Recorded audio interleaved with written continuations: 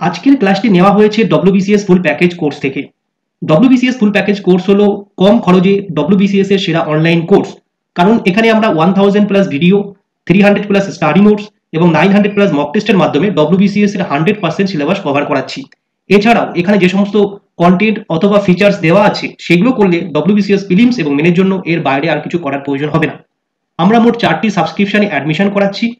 Course সম্পর্কে বিশদে জানতে এবং আমাদের কোর্সে এনরোলমেন্ট করার জন্য ভিডিও ডিসক্রিপশন ফলো করতে পারো, সেখানে ডিটেলস এবং পেমেন্ট লিঙ্ক দেওয়া আছে। এখন আমরা ডব্লিউবিসিএস ফুল প্যাকেজ থেকে এই ক্লাসটি শেষ পর্যন্ত দেখে নিই। নমস্কার বন্ধুরা এমএইচ এডুকেশন ল্যাবে আপনাদের সকলকে স্বাগত জানাচ্ছি। আগত ডাব্লিউবিসিএস পরীক্ষার কথা মাথায় রেখে আমাদের যে ইংলিশের মক টেস্টের যে সিরিজ শুরু হয়েছে, আজ সেই ইংলিশ মক টেস্ট সিরিজেরই আমি আপনাদের সাতাশ নম্বর ক্লাসটি দেব। এর আগে আমি অলরেডি ছাব্বিশটি ক্লাস আপনাদের সঙ্গে কিন্তু ডিসকাস করেছি। সেখানে অনেক গুরুত্বপূর্ণ প্রশ্নে আপনাদের সঙ্গে ডিসকাস করেছি, যেগুলো কিন্তু যে কোনো পরীক্ষার জন্যই কিন্তু খুবই গুরুত্বপূর্ণ। তো আজকেই সাতাশ নম্বর মক টেস্টেও আমি আরও গুরুত্বপূর্ণ প্রশ্ন নিয়ে এসেছি। তো চলুন বন্ধুরা, আমরা আজকে শুরু করি আজকের এই সাতাশতম ইংলিশ মক টেস্টের ক্লাসটি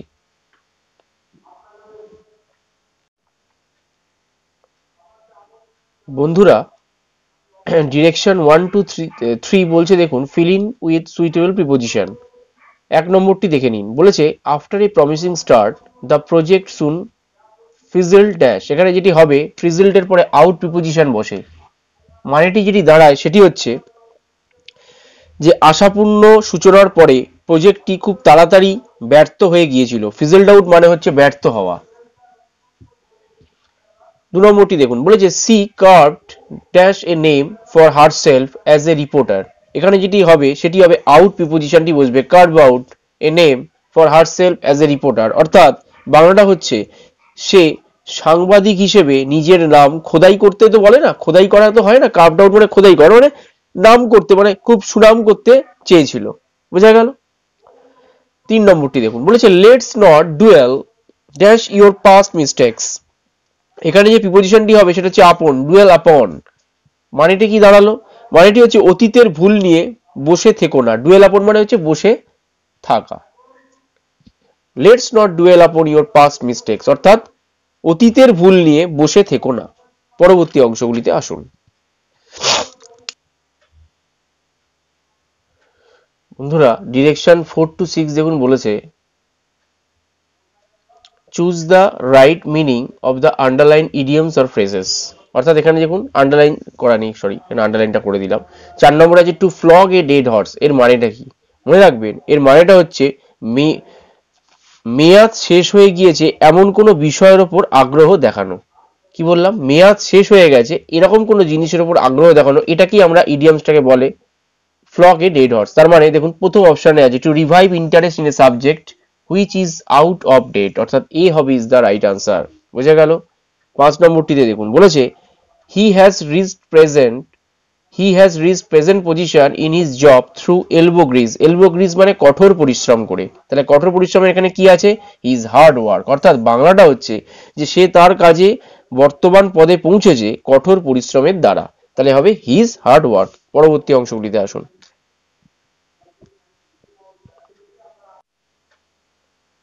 বন্ধুরা, দেখুন, ছয় আর সাত। এখানে আমি একটু ভুল হয়ে গেছে। এখানে চার থেকে ছয় না, এখানে চার থেকে সাত হবে, ঠিক আছে? চার পাঁচ করিয়ে দিয়েছি, ছয় সাতটি দেখে নিন ইডিয়ামসগুলো। বলেছে to show one's white feather এর মানেটা কি? Feather to show one's white feather এর মানেটা হচ্ছে ভীরুতা বা দুর্বলতার চিহ্ন দেখানো। এই, এটার মানেটা। তাহলে এখানে কোনটা দেখাচ্ছে? তাহলে to show signs of cowardice অর্থাৎ বি হবে ইজ দ্য রাইট আনসার অর্থাৎ ভীরুতা কারোডাইজ মানে ভীরুতা বা দুর্বলতা। ভীরুতা বা দুর্বলতা চিহ্ন দেখানোটাই হচ্ছে টু শো বলে হচ্ছে এডিয়ামসে to show one's white feather সাত নম্বরটি দেখুন, বলছে we were in a hurry had to cut off a corner to reach in time cut off a কর্নারের নিচে আন্ডারলাইন করা আছে। এর মানেটা কি? মানেটা হচ্ছে, বাংলাটা হচ্ছে, আমরা তাড়াহুড়োর মধ্যে ছিলাম, তাই সময়ে পৌঁছানোর জন্য শর্টকাট নিতে হয়েছিল। আমাদের আমরা তাড়াহুড়োর মধ্যে ছিলাম, তাই সময়ে পৌঁছানোর জন্য শর্টকাট নিতে হয়েছিল। তাহলে কাট অফ এ কর্নার মানে হচ্ছে শর্টকাট মানে বি হবে is the right answer to take a shortcut তাহলে এই কাট অফ এ কর্নার এই ফ্রেজটা যদি থাকে, তাহলে আপনারা সরাসরি যেটি করবেন, এই অপশনটি থাকবে টু টেক এ শর্টকাট বুঝা গেল? পরবর্তী অংশগুলিতে আসুন।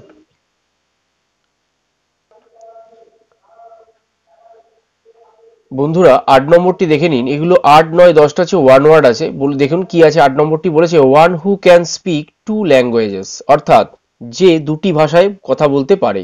তাহলে তাকে কি বলে? মনে রাখবেন যে দুটি ভাষায় কথা, যে দুটি ভাষায় কথা বলতে পারে, তাকে বলে হচ্ছে বাইলিঙ্গুয়াল বোঝা গেল?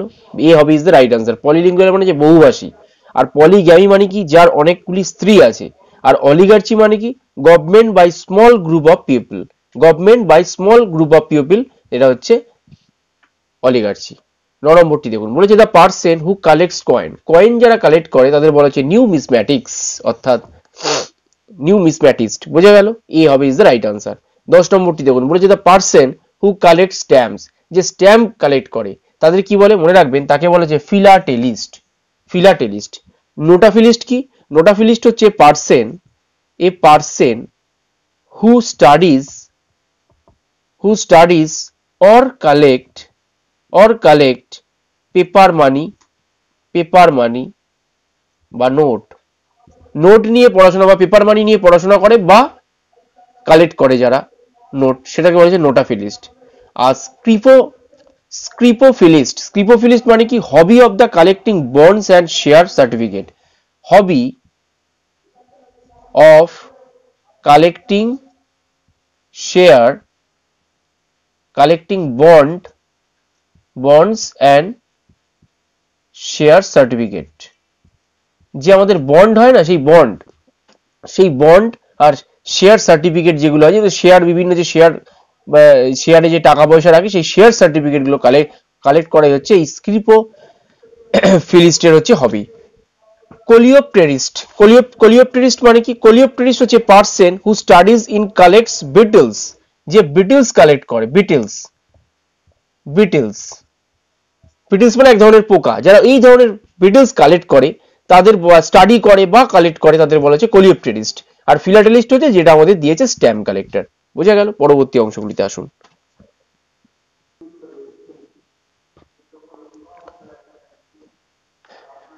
বন্ধুরা ডিরেকশন ইলেভেন টু থার্টিন দেখুন বলেছে choose the right nearest in meaning nearest in meaning মানে হচ্ছে সিনোনিম সিনোনিমটি চেয়েছে। অর্থাৎ choose the right nearest in meaning of the given word কি কি দিয়েছে? এগারো নম্বরটি দিয়েছে এক্সটিং এক্সটিং মানে কি? এক্সটিং মানে হচ্ছে কোনো লুপ্ত। এক্সটিংক্ট মানে লুপ্ত হয়ে গেছে বা বিলুপ্ত। লুপ্ত বা বিলুপ্ত। তাহলে এটা কোনটা হবে এখানে? এখানে দেখুন চারটে অপশন দিয়েছে। গান পাস ডাই অ্যাওয়ে ডেথ এখানে যেটি হবে গান অর্থাৎ গান মানে কি? শেষ বা সর্বশান্ত। এবার এখানে কেন ডেথ হলো না? লুপ্ত মানে মনে রাখবেন, কোনো মানুষ যখন মরে যায় ডেথ মৃত্যু হলো, তাই ডেথ বলছে, ঠিক আছে। কিন্তু মানুষ মরে, যে মানুষটি মরে গেল, মানুষ প্রজাতিটা তো শেষ হয়ে গেল না, মানুষ প্রজাতি তো রয়ে গেল, তার মধ্যে একজন মানুষ মারা গেছে, সেই ক্ষেত্রে ডেথ কিন্তু এখানে বলছে যে এই প্রজাতিটি পুরো বিলুপ্ত হয়ে গেছে এক্সটিং মানে কোনো প্রজাতি বিলুপ্ত বিলুপ্ত মানে তার কোনো অস্তিত্বই নেই, সেই, সেইটার। যদি মানব জাতি যদি বলতো পুরোটাই বিলুপ্ত হয়ে গেছে, যদি এখানে সেন্টেন্সটা এরকম ভাবে দেয় যে মানব জাতি পুরোপুরি বিলুপ্ত হয়ে গেছে, সেক্ষেত্রে কিন্তু আমরা গান কথাটি দেবো। বিলুপ্ত যদি বলে এক্সটিং অবশ্যই মনে রাখবেন গান হবে তার। ডেথ নয় কিন্তু ডেথ হচ্ছে আলাদা। মানুষ যদি মারা যায় ডেথ কিন্তু মানুষ মরে গেলে, একজন মানুষ মারা গেলে তো পুরো মানুষ প্রজাতিটা তো বিলুপ্ত হয়ে যাচ্ছে না। মানুষ তাহলে সেটাকে বলে ডেথ আর গান মানে হচ্ছে একদম লুপ্ত বা বিলুপ্ত হয়ে যাওয়া। মানে সর্বশান্ত হয়ে গেছে আর কোনো নেই, তার চিহ্ন, চিহ্নই নেই, সেটা হচ্ছে এক্সটিং বোঝা গেল? বারো নম্বরটি দেখুন, বলেছে ফাইডিলিটি ফাইডিলিটি মানে হচ্ছে ফাইডিলিটি মানে হচ্ছে সততা। সততা বা বিশ্বস্ততা। সততা বা বিশ্বস্ততা। তাহলে ফাইডিলিটি যদি হয়, সততা, তাহলে মনে রাখবেন রেলিয়েবিলিটি হচ্ছে তার সিনোনিম বা নিয়ারেস্ট মিনিং রিয়েলাবিলিটি মানে কি? বিশ্বাসযোগ্যতা। বিশ্বাস যোগ্যতা ট্রাস্ট মানে বিশ্বাস অর্থি মানে হচ্ছে সুযোগ্য, আর কনফিডেন্ট মানে হচ্ছে আত্মবিশ্বাস। কনফিডেন্ট মানে হচ্ছে আত্মবিশ্বাস। আর ট্রাস্ট মানে কি? ট্রাস্ট মানে হচ্ছে বিশ্বাস। আর অর্থি মানে কি? সুযোগ্য বা যোগ্য। তেরো নম্বরটি দেখুন ফ্রেজাইল ফ্রেজাইল মানে কি? ফ্রেজাইল মানে হচ্ছে ভঙ্গুর। ফ্রেজাইল মানে হচ্ছে ভঙ্গুর। তাহলে তার সিনোনিমটি কি হবে? ব্রেকেবল ব্রেকেবল মানে হচ্ছে ভাঙা বা ভঙ্গুর জাতীয়। ট্রাবল মানে কি? ট্রাবল ট্রাবল মানে কি? কষ্ট। বা যন্ত্রণা ইত্যাদি ইত্যাদি। ডিসকমফোর্ট মানে কি? অস্বস্তি। অস্বস্তি। আর ডাইভার্ট মানে কি? দিক পরিবর্তন করা। ডাইভার্ট দিক পরিবর্তন। এই মানেগুলো কিন্তু আপনাকে জেনে নিতে হবে। পরবর্তী অ্যান্টোনিম গুলোতে আসুন।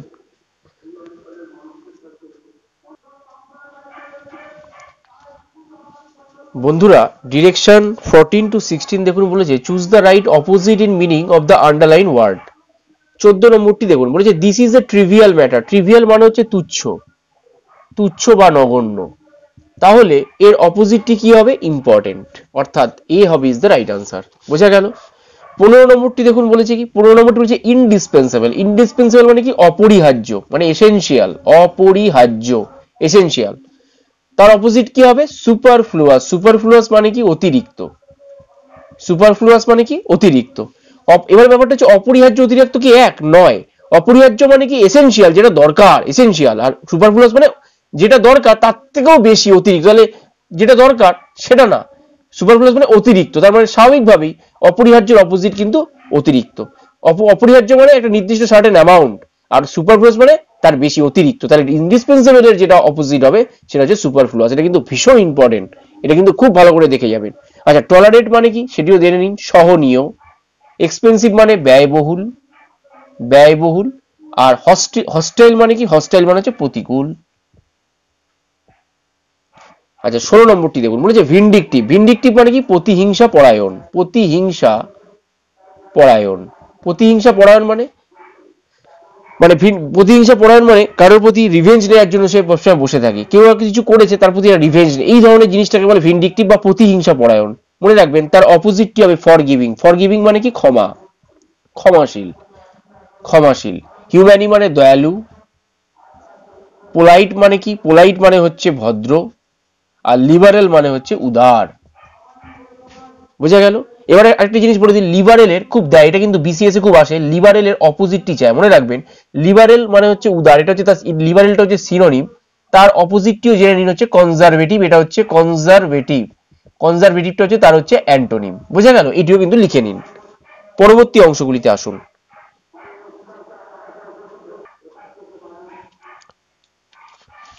বন্ধুরা direction seventeen to twenty one বলেছে fill in the blanks with correct word fill in the শূন্যস্থান পূরণ দিয়েছে। এখানে সতেরো, আঠেরো, উনিশ আছে, পরবর্তী অংশে কুড়ি, একুশ করিয়ে দিচ্ছি। সতেরো নম্বরটি দেখুন, বলেছে has the driver drunk when he dash at the wheel এটা আমি বিগত অনেক যে মক টেস্টগুলো আপনাদের দিয়েছি, সেখানে এই ধরনের আমি কিন্তু আলোচনা করেছি।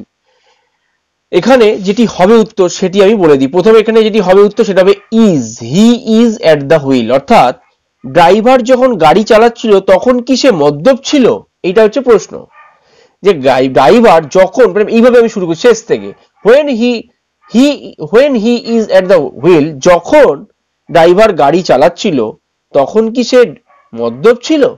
অর্থাৎ এখানে আমি কেন ইজ করলাম? এখানে হ্যাভ হবে না হ্যাড হবে না। এখানে ওয়াজ আর ইজের মধ্যে সম্পর্কটা, পার্থক্যটা আমাকে বুঝতে হবে। এখানে দেখুন হ্যাজ তাহলে এখানে আমাকে দুটো ভার্ব এখানে এখানে একটা এখানে একটা ভার্ব আছে, আর এখানে একটা শূন্যস্থানে ভার্ব আছে। মনে রাখবেন, প্রথম যে ভার্বটা যে ফর্মে দেবে, যে টেন্সের যে ফর্মে দেবে, আমাকে পরের ভার্বটা সেই ফর্মে নিতে হবে। এবার দেখুন এখানে হ্যাজ হ্যাজটা কি? হ্যাজটা হচ্ছে আমার প্রেজেন্ট ফর্মে দিয়েছে। তাহলে আমাকে এখানেও এটা প্রেজেন্ট ফর্মেই বসাতে হবে। বোঝা গেল? তাহলে কি হবে? ইজ এখানে যেহেতু আছে ইজ তাহলে এখানে হবে is is the right answer বোঝা গেল? আঠারো নম্বরটি দেখুন। বলে যে some people dash to the officer against him about his misdeeds তাহলে এখানে যেটি হবে কমপ্লেন্ট এখানে অনেকগুলো আছে আক্সড কোশ্চেন ইনফর্ম এখানে যেটা হবে কমপ্লেইন অর্থাৎ C O M P L A I N E D complain অর্থাৎ some people complain to the officer against him about his misdeed অর্থাৎ কিছু লোকজন তার বাজে ব্যবহারের জন্য অফিসারের কাছে অভিযোগ জানিয়েছিল। কমপ্লেন মানে অভিযোগ। যখনই এই ধরনের সেন্টেন্স দেবে আপনাকে কিন্তু খুব কমন দেখুন খুব কাছাকাছি সেন্টেন্সগুলো কিন্তু ওয়ার্ডগুলো দিয়ে দেবে। মনে রাখবেন, যখন কোনো অভিযোগ এগেনস্ট কথাটা থাকবে, তখন সরাসরি আপনি কমপ্লেনটি লিখে দেবেন, একদম ডাইরেক্ট কারণ কোনো অভিযোগ করছে, আপনি সেন্টেন্সের ভাবটা পড়ে নিলেন, যখন এগেনস্টটি দিয়ে দেখে নিলেন, তখন আপনি কমপ্লেনটি করে লিখে দেবেন। বোঝা গেল?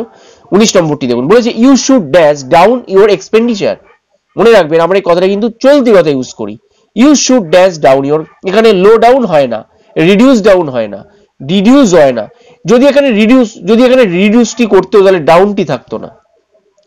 যদি এখানে রিডিউসটি করতে হতো, তাহলে ডাউনটি থাকতো যখন ডাউন দিয়ে দিয়ে আমরা এখানে হবে কাট ডাউন অর্থাৎ আমরা ইউজটি কথাটি ইউজ করি। অর্থাৎ you should cut down your expenditure অর্থাৎ, তোমাকে অবশ্যই তোমার খরচ কমাতে হবে। বোঝা গেল, পরবর্তী অংশটিতে আসুন।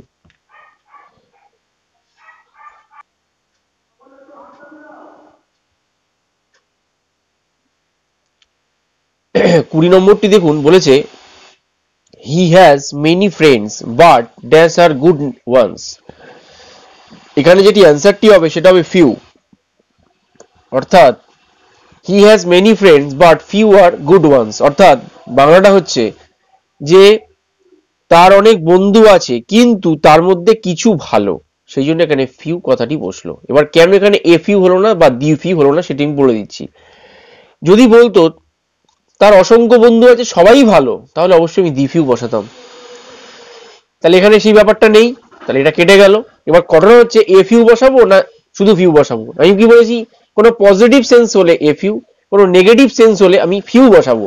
এখানে দেখুন, যদি থাকতো he has many friends and যদি থাকতো and a few are good ones অর্থাৎ কিছু তার মধ্যে ভালো। যদি এখানে অ্যান্ড থাকতো, এবং তার অনেক বন্ধু আছে কি, এবং কিছু ভালো। তাহলে পুরোটাই পজিটিভ সেন্সে হতো, তাহলে আমি এ ফিউ বসাতাম। কিন্তু এখানে ঘটনা দিয়েছে বাট মানে কিন্তু, এটা কিন্তু প্রশ্ন দিয়েছে, তার মানে নেগেটিভ সেন্সের দিকে যাচ্ছে। সেই জন্য আমি ফিউটি আনলাম। বোঝা গেল? একুশ নম্বরটি দেখুন। বলেছে I am very much dash to meet you এখানে ডিলাইট যেটা আছে, এখানে নাউন ফর্ম টু ডিলাইট হবে না। যেহেতু টু ডিলাইট টু আওয়ার পরে আছে, সুতরাং এটি হবে না। ডিলাইটিং মানে ভার্বের সঙ্গে আইএনজি করা আছে। মানে যেহেতু এখানে আই অ্যাম আছে তেমন ডিলাইটিং অর্থাৎ কন্টিনিউয়াস ফর্মে কিন্তু এখানে এখানে যেটা হবে, সেটা হবে ডিলাইটেড অর্থাৎ এখানে অ্যাডজেক্টিভ ফর্মে হবে। অর্থাৎ এখানে যেহেতু একটা ভার্ব দেওয়া আছে, সুতরাং এখানে আবার এটাকে আমাকে নতুন করে ভার্বের আবার আইএনজি করতে, না করলেও হবে। তাহলে এখানে যেটা করতে হবে, সেটা হচ্ছে ডিলাইটেড তাহলে I am very much delighted to meet you অর্থাৎ তার তোমার সাথে সাক্ষাৎ হওয়ায় আমি খুবই আনন্দিত। বোঝা গেল? বাইশ নম্বরটি, দেখুন প্যাসিভ ভয়েসে ট্রান্সফার করতে বলেছে। বলছে right now Ramesh is writing a letter বলছে, এখন রমেশ চিঠিটি লিখছে। এখন রমেশ চিঠিটি লিখছে। তাহলে আমি কি বলেছিলাম যে অ্যাক্টিভ থেকে প্যাসিভ করার সময় আমাকে দেখতে হবে যে অ্যাক্টিভের কোন ফর্মে দিয়েছে। দেখছি, দেখতে পাচ্ছি সাবজেক্ট প্লাস ভার্ব মানে অ্যামিজার রয়েছে, তারপরে ভার্বের সাথে আইএনজি যুক্ত রয়েছে। তার মানে এটা প্রেজেন্ট কন্টিনিউয়াস টেন্সে দিয়েছে। তাহলে আমাকে প্যাসিভ ফর্মেও সেই প্রেজেন্ট কন্টিনিউয়াস করতে হবে। রাইট নাও থাকলে রাইট নাওটা যেরকম থাকল, সেরকম থাকবে। তাহলে রাইট নাও থাকল রাইট নাও এখানে লিখি রাইট নাওটি থাকল রাইট নাও থাকল, এবার এখান থেকে এগোতে এবার আমি কি বলেছি? যে রমেশ হচ্ছে অ্যাক্টিভ ভয়েসে সাবজেক্ট তাহলে এটা প্যাসিভ ভয়েসে অবজেক্ট হয়ে যাবে। দা লেটার এখানে এটা অবজেক্ট আছে অ্যাক্টিভ ভয়েস তাহলে প্যাসিভ ভয়েসে এটা কি হয়ে যাবে? সাবজেক্ট হয়ে যাবে। তাহলে রাইট নাও দা লেটার এবার দা লেটার এটা তো থার্ড পার্সন সিঙ্গুলার নাম্বার তাহলে ইজ বসবে। বোঝা গেল? Right now the letter is যেহেতু কন্টিনিউয়াস টেন্সে আছে প্রেজেন্ট কন্টিনিউয়াস তাহলে বিইং করতে হবে। কারণ আমরা জানি কন্টিনিউয়াস টেন্সে যে কোনো কোনো বিইং আনতে হয়। অ্যামিজারের পরে বিইং তারপরে কি বসবে? রিটেন অর্থাৎ ভার্বের পাস্ট পার্টিসিপল ফর্ম বসবে, অর্থাৎ রিটেন রিটেন তারপরে বাই ফ্রেজ বসবে বাই তারপরে রমেশ। ওই যে বলেছি সাবজেক্ট অবজেক্ট হয়ে যাবে রমেশ। তাহলে দেখুন the letter right now the letter is being written by Ramesh. দেখুন সিতে আছে right now the letter is being written by Ramesh. অর্থাৎ সি হবে ইজ দ্য রাইট আনসার বোঝা গেল? পরবর্তী অংশগুলিতে আসুন। বন্ধুরা, তেইশ নম্বরটি দেখুন, বলেছে choose the correct indirect speech অর্থাৎ ন্যারেশন চেঞ্জ দিয়েছে। বলেছে the captain said hurray we scored a goal অর্থাৎ ক্যাপ্টেন বলেছিল, হুররে, আমরা একটি গোল করেছি। এখানে কোনটি হবে? এখানে যেটি হবে B is the right answer অর্থাৎ দ্য ক্যাপ্টেন এক্সক্লেইমড অর্থাৎ ক্যাপ্টেন আনন্দের সঙ্গে এক্সক্লেইম মানে কোনো আনন্দের সঙ্গে চিৎকার করে বলা, যে হুররে বলছে, তার মানে কোনো কিছু মানে হুররে মানে এই ধরনের আমরা কথাগুলি কখন ইউজ করি? যখন কোনো আনন্দ হয়, তখন সেইগুলো আমরা এই এক্সপ্রেশনটা দিই, হুররে। অর্থাৎ দ্য ক্যাপ্টেন এক্সক্লেইম অর্থাৎ আনন্দের সঙ্গে চিৎকার করে বলেছিল উইথ জয় দেখুন এক্সক্লেইমড উইথ জয় যখনই হুররে বা কোনো আনন্দ কিছু বোঝাবে, আনন্দ হওয়ার কিছু বোঝাবে, তখন আমরা ইনডাইরেক্ট স্পিচে যেটা করব সেটা হচ্ছে এক্সক্লেইমড উইথ জয় বোঝা গেল? তাহলে এখানে যেহেতু হুররে মানে আনন্দে বলছে, তাহলে exclaimed with joy that they had score a goal অর্থাৎ, আর ক্যাপ্টেন আনন্দের শুধু এবার এখানে এক্সক্লেইম কেন না হলো এক্সক্লেইম কেন হলো, যেহেতু সেইট দিয়েছে মানে পাস্ট টেন্সে আছে সেজন্য এখানে ইডি যুক্ত হলো। তাহলে এক্সক্লেইম চিৎকার করে বলেছিল, আনন্দে চিৎকার করে বলেছিল যে তারা একটি গোল করেছে। বলেছে, আমরা একটি গোল করেছিলাম। মানে তারা। তাহলে উইটা দে হয়ে গেল, তারা একটি গোল করেছিল। বোঝা গেল? এবার যেহেতু এখানে আপনার পাস্ট টেন্স ফর্মে দিয়েছে সেই জন্য আমরা এখানে কি করলাম? হ্যাডটি আনলাম।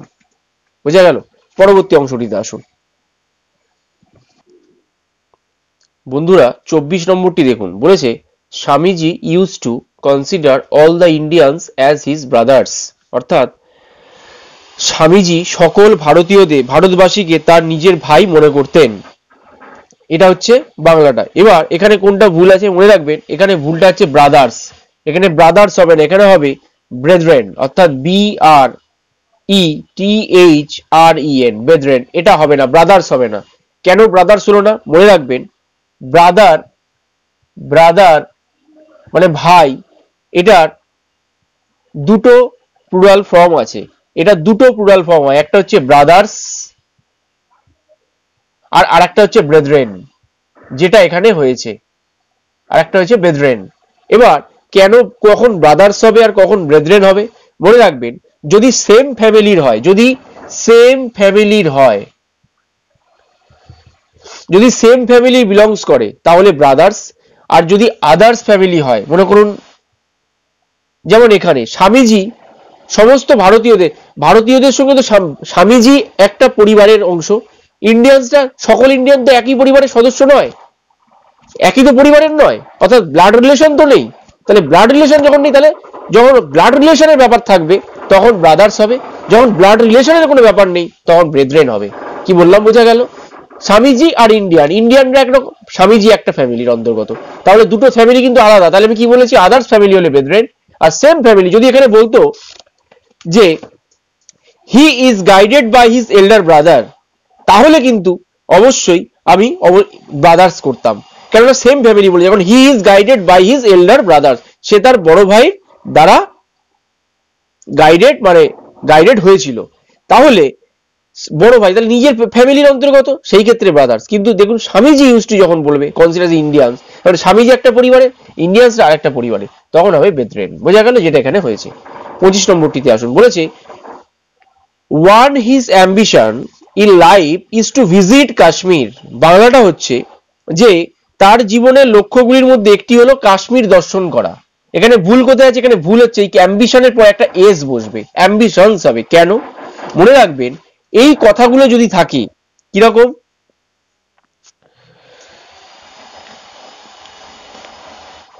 সরি এখানে একটা ওয়ান অফ হবে। একটু ভুল লেখা হয়ে গেছে। এটা হবে one of his ambition in his life in life is to visit Kashmir অর্থাৎ এখানে এটা অফ হবে হ্যাঁ? অফিস ওয়ান অফিস এবার মনে রাখবেন, নিয়মটা হচ্ছে যদি ওয়ান অফ এই কথাগুলো আপনারা লিখে নেবেন, যদি ওয়ান অফ যদি থাকে ইচ অফ ইচ অফ যদি থাকে এভরি অফ অর্থাৎ প্রথমেই যদি থাকে এভরি অফ যদি থাকে আইদার অফ যদি থাকে নাইদার অফ নাইদার অফ যদি থাকে এনি অফ যদি থাকে এনি অফ আর যদি থাকে নান অফ এই কথাগুলো কি কি বললাম?